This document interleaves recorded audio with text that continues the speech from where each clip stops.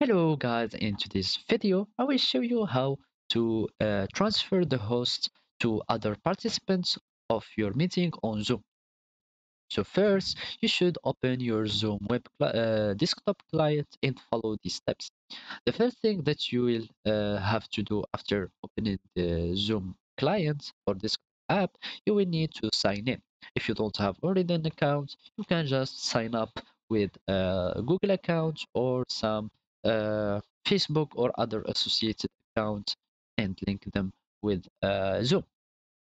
After you connect, you will find yourself in this home page and now we can uh, proceed with our method.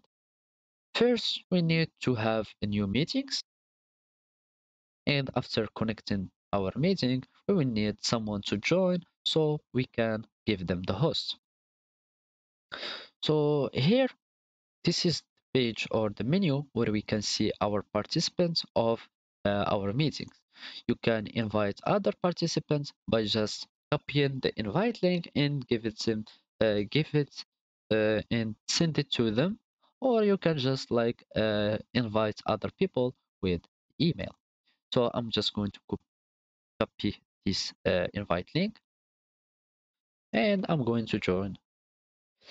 So now I have this uh, person or this participant that is uh, waiting in the waiting room so I can admit it to join the meeting like this.